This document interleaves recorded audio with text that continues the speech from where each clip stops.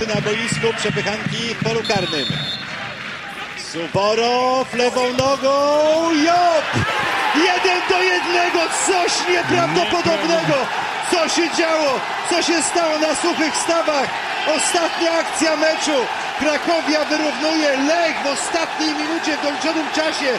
Strzela zwycięskiego gola w Chorzowie i to Lech w tym momencie obejmuje prowadzenie w tabeli. Niesamowita sytuacja, nieprawdopodobna wręcz sytuacja w derbach, w świętej wojnie. Narzekaliśmy na brak emocji.